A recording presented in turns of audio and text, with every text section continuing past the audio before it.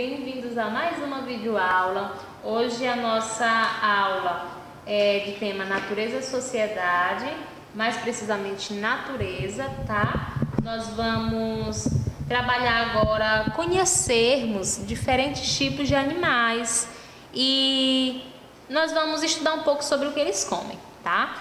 Para começarmos, vamos ficar de pé, falar com o Papai do Céu agradecer a Ele por mais esse dia, por essa semana, porque Ele, ele que nos dá força é, e que nos dá proteção para podermos estar cada dia aqui, né, vivos e felizes. Então, vamos lá.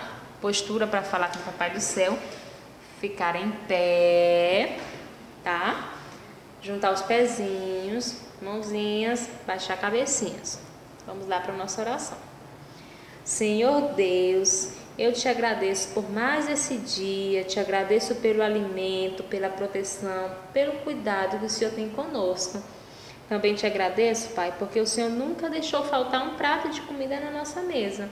E eu te peço, Pai, do fundo do meu coração, que o Senhor venha abençoar todas aquelas pessoas que não estão tendo o que comer, que não estão tendo onde morar. Que o Senhor possa mandar seu anjo com a provisão que cada pessoa necessita. Que os seus anjos possam estar visitando a casa dessas pessoas. É o que eu te peço. Peço também que o Senhor continue nos abençoando, nos protegendo e nos dando saúde, para que possamos estar correndo atrás do nosso futuro, Senhor. Em nome de Jesus, trabalha no nosso coraçãozinho para que possamos ser crianças obedientes, educadas e dedicadas. É o que eu te peço, em nome de Jesus. Amém. Ótimo. Agora, hoje nós vamos conversar bastante. Conversar. Eu queria muito que vocês estivessem aqui para que a gente pudesse, para que eu pudesse falar e vocês também falar, para vocês responderem aqui presencialmente, certo? É, porque a nossa aula de hoje ela é mais debate, para que vocês possam entender compreender, não tem no livro, tá? Nós não vamos usar o livro didático dessa vez. Vamos usar apenas os meios que a internet nos proporciona. São imagens e textos. Então, nós vamos trabalhar, nós vamos conhecer os animais é, carnívoros, herbívoros e onívoros, tá? Então, é, vocês já perceberam que é, existem animais que elas têm a própria dieta alimentar deles, por exemplo, assim, existem animais que só comem um tipo de coisa, certo? É, existem aqueles que só comem frutas, já existem aqueles que só comem apenas carnes. E também tem aqueles que comem qualquer coisa, come fruta, come carne. E hoje nós vamos tentar descobrir quais são né, alguns desses animais. Não dá para a gente ver todos, porque são inúmeros animais aí em cima do nosso planeta e também os aquáticos, né? Mas nós vamos ver o, o que pudermos aqui, o que o tempo nos permitir, tá? Então, deixe eu falar para vocês.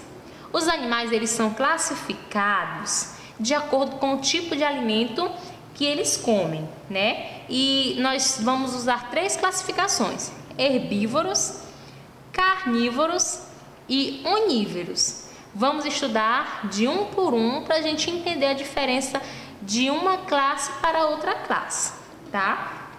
Vamos lá. O que são os animais herbívoros? Os animais herbívoros são aqueles que se alimentam apenas de vegetais, do verde, das frutas, das gramas e das plantas, certo? É, raízes também, os néctar da, das flores, folhas, tudo isso faz parte da alimentação de um animal herbívoro, ok?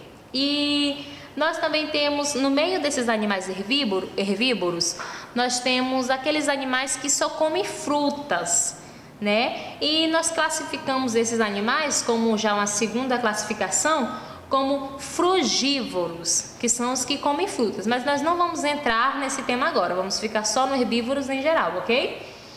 E também temos no meio dos animais herbívoros aqueles que se alimentam apenas de grãos, que nós podemos chamar de granívoros, mas também não vamos estudar eles agora, só para vocês já irem tendo uma ideia, tá? Então, o que são os animais herbívoros? Herbívoros são os animais que se alimentam apenas de vegetais, de frutas, de raízes, da, do néctar, das flores, de folhas, entendeu? De tudo que é da natureza, assim, do verde da natureza, vamos dizer assim. Não é verde, é bem colorido, né? Nossas frutas são bem coloridas. Mas vamos dizer que tudo aquilo que é plantado é, é o que os animais herbívoros se alimentam. O que vocês têm aí é, é, na cabecinha de vocês? Algum animalzinho herbívoro? É, eu acredito que alguém deve criar papagaio. Alguém cria papagaio lá em casa ou já viu um papagaio? O papagaio ele é um, um animalzinho herbívoro, ele come apenas frutinhas, né? Então ele é herbívoro, ele não é carnívoro. Vamos agora ver a imagem de um animal herbívoro também. Olha só esse daí. Vocês sabem qual é esse animal? Nós não temos para cá para nossa região, mas essa daí é uma girafa. Tem até aquela música da galinha pintadinha, né? Que vocês veem que a girafa tem um pescoço enorme, grandão, vai até nas nuvens, mas isso é mito, viu? O pescoço dela não vai até nas nuvens. Agora, já entendemos que animais herbívoros são os animais que se alimentam de vegetais, frutas, do verde da natureza, das plantas. Ok. Agora, o que são animais carnívoros? Olha o nome. Carnívoros. Carnívoros são aqueles animais que também se alimentam de outros animais. Carne. Você sabia que, que a carne vem dos animais, certo? Você sabe que quando a gente come aquele churrasco gostoso, com aquela gordurinha, aquela costela, aquilo veio de um, bo, de um boi, não é? Você sabe disso? Que o boi é um animal e, e que a gente come o boi, a galinha, o frango, certo? O porco, há quem coma porco, né? E, muitos outros animais que são é, colocados na nossa alimentação.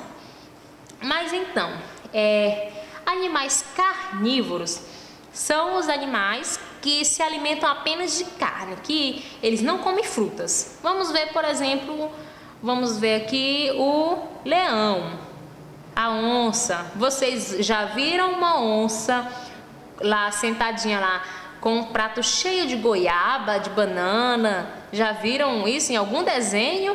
Não, né? A onça, ela é um animal carnívoro. Ela come outros animais que ela vê, que ela consegue alcançar e ela só se alimenta disso. Igual o tubarão. O tubarão também ele é um animal carnívoro, ele é aquático, mas ele é carnívoro. Ele come os outros peixinhos menor que ele que tem é, no, no mar, né? Então, é, o, as serpentes, existem cobras também, cobras serpentes, né? Elas são carnívoras, elas comem ratos, a, é, galinha também, a, porcos, tem aquelas, aqueles sucurives bem grandona, não sei se vocês já viram, e que se alimentam também dos porcos nas fazendas, né? Então, e são muito perigosas porque elas também podem atacar um ser humano, né? Se elas se sentirem ameaçadas. E elas são bem grandonas, viu? Então, entre outros animais. Agora vamos ver a foto de um animal carnívoro. Olha, esse me dá muito medo. Foi o que nós falamos aqui. É a onça pintada. A onça pintada, ela é um animal carnívoro. Ela vive apenas da carne, da caça dela, ok? Agora, já descobrimos que animais herbívoros são os animais que se alimentam de vegetais, frutas, raízes, né? sementes em geral, tudo aquilo que nasce, que nasce da natureza, da terra. Os animais carnívoros são os animais que é, se alimentam apenas de carne, que não tem em sua dieta é, o, os vegetais, né, que só tem em sua dieta, que só comem realmente carne, que são outros animais. E agora nós vamos para os animais oníveros. Oníveros. O que é animais oníveros? Oníveros são aqueles animais que se alimentam tanto de carne quanto de é, frutas. Por exemplo, os macacos. Vocês sabiam? Os macacos eles comem carne, eles comem pequenas caças que eles acham na floresta, mas eles também comem frutas. E uma fruta que vocês sabem que o macaco come bastante é a banana. Mas não é só banana. Macaco também gosta de mamão, também gosta de goiaba, gosta de muitas outras frutas, tá? E também o porco. O porco, ele, quando você, é, não sei se vocês já viram alguém criando porco, a gente geralmente bota o resto de comida para não estragar. Quando sobra comida no nosso prato, né, a gente guarda ali, que há quem chame de lavagem, e a gente entrega para o porco. Ali, às vezes tem salada, tem aquela salada com frutas, salada com maçã, tem alface, tem pepino, também tem arroz, tem feijão, tem carne, carne de gado, carne de galinha, tem peixe, tudo isso. E tudo isso o porco come. Então, o porco também é onívoro. Ele é onívoro porque ele come carnes, mas também se alimenta de frutas. Então, se não tiver carne, ele come frutas, e se não tiver frutas, ele come carne. E se tiver os dois, ele come os dois sem problema nenhum. E também o jabuti. O jabuti, vocês já viram o jabuti? Também ele é um, um dos animais onívoros. Ele come carne e também frutas. Então, agora olha só a imagem desse dessa fofurinha aí que é onívora. Olha só que coisinha mais fofa. Pequena assim, ele é até fofinho mesmo, né? Mais grande a gente não quer chegar perto. Eles vivem mesmo no ambiente, no chiqueiro, né? Bem fedorento. Então, este porquinho, ele é onívoro. Já descobrimos, já entendemos quais são, né? Os animais onívoros, carnívoros e herbívoros. Então, aqui para fazer uma explicação melhor para vocês. Aqui nós só temos carne. Então, essa é a alimentação dos carnívoros. Aqui nós só temos frutas, vegetais, certo? Então, essa vai ser a alimentação dos herbívoros. E aqui nós temos carne, olha, frango, carne, ovo, peixe, tudo isso é de animais, né? Os ovos vêm da galinha, o queijo vem do leite, que vem da vaca. Aqui nós temos as coxas de frango, um pedaço de carne de boi e os peixes. E também temos aqui frutas e vegetais. Então aqui são os dois tipos de alimentação juntos, que são dos animais onívoros. Nós vamos começar aqui agora, vamos fazer, a, vamos fazer uma ligação aqui juntos. Vamos, aqui nós temos seis imagens, certo? E nós vamos ligar cada imagem a sua respectiva alimentação. Começando com a girafa. Nós já vimos a girafa, esses três aqui nós acabamos de ver. A girafa, ela é carnívora, herbívora ou onívora? Nós vimos aqui que ela se alimenta apenas de vegetais. Então ela é herbívora. Vamos passar. Aqui está a nossa linhazinha bem fininha aí, bem bonitinha, direto para essa, esse grupo de alimentação.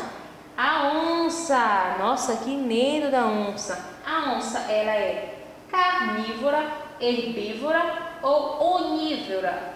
Onívora.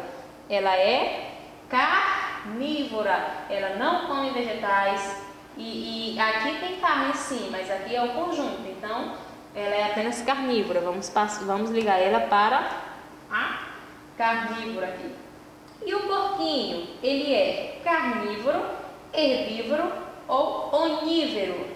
O porquinho é onívoro, ele come apenas ele come tudo, de tudo um pouco, né? Ele não come só carne, ele não come só frutas, ele come de tudo que der para ele, ele come. Então, o porquinho é onívoro. Ligamos aqui, completamos a, essa coluna, agora vamos para a próxima coluna. O coelhinho. Alguém já viu um coelho comendo outro animal? Eu nunca vi. Então, o coelho ele não é carnívoro, ele é herbívoro, ele come apenas vegetais, frutas, sementes, certo? Então tá aqui o coelhinho. Agora ali nós temos um menino e uma menina que representam o ser humano.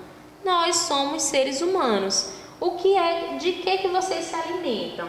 Aqui nós podemos entrar em outra questão, que é a questão do, da, do ser humano que é vegano, né? O ser humano vegano ele não come nada de origem animal. Mas nós vamos trabalhar como o ser humano em si, o animal ser humano.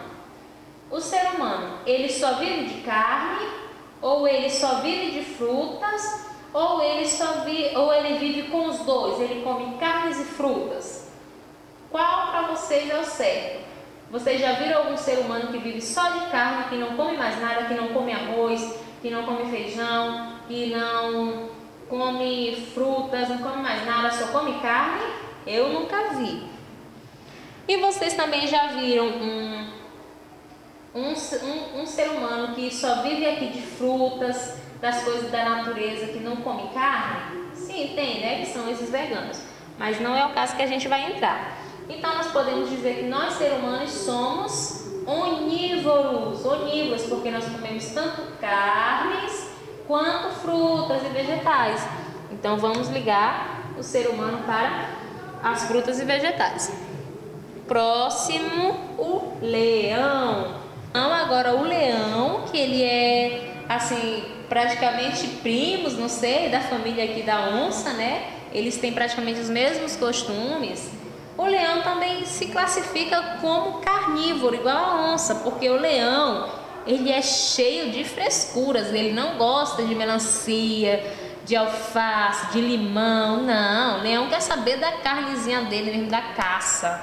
Então, esse, essa foi a nossa aula e agora na telinha ainda vocês vão ver o nosso desafio do dia. Como eu falei no começo, não tem no livro de vocês. Então, isso aqui vocês vão fazer na, na, no caderno, em alguma folha. Se você tiver caderno de desenho, usem. Se não, podem usar o caderno de escrever mesmo, tá? E esse vai ser o desafio de vocês. Não esqueçam de fazer a linha aqui em cima, colocar o nome e a data. Desafio do dia: desenhar dois animais para cada quadrinho. Então, como assim, tia? Eu vou desenhar dois animais para cada quadrinho? Sim, você vai ler o que está pedindo e você vai desenhar aqui dois tipos de animais que represente o quadrinho que ele está. Por exemplo, aqui, herbívoros. Então, você vai desenhar aqui dois animais que são herbívoros. Herbívoros são aqueles que se alimentam apenas de vegetais, certo? Então, aqui vocês vão desenhar dois animais que comem apenas folhas, vegetais, tá bom? Carnívoros. Carnívoros são aqueles que se alimentam apenas de carne. Então vocês vão desenhar aqui dois, dois animais diferentes, tá? Que se alimentam apenas de carne, que não comem nada de origem vegetal. E por último, no último quadrinho, vocês vão desenhar dois animais que são onívoros. Onívoros são os animais que se alimentam tanto de vegetais quanto de carnes. Então, vocês vão pesquisar aí com a ajuda do papai e da mamãe quais são esses animais e vocês vão desenhar os dois aqui, tá bom? Então, essa foi a nossa videoaula de hoje. Espero que vocês tenham gostado. É, a, foi bem rápida, tentamos fazer porque como foi bastante conversa para não ficar entediante, para vocês não se cansarem, tá bom? Espero que vocês tenham entendido e gostado da aula, porque eu particularmente gosto muito de entrar no mundo dos animais. Eu acho muito interessante, é, são diferentes tipos de animais, cada um com seu costume. Existem animais que são noturnos, né, que são aqueles que dormem durante o dia e, e, durante a noite que eles acordam, que eles caçam, que eles comem como a coruja e algumas cobras também. E praticamente o resto dos animais são diurnos, que são os que vivem mesmo durante o dia, que se alimentam, que caçam durante o dia e à noite usam para dormir, né? É como, como nós, nós somos diurnos. Nós trabalhamos durante o dia, mas quando chega a noite vem aquele cansaço, né? Que é a nossa hora de descansar. Então é isso. Eu espero que vocês tenham gostado. Qualquer dúvida, ó, WhatsApp da tia. Um beijão. Tchau, tchau. Até a próxima.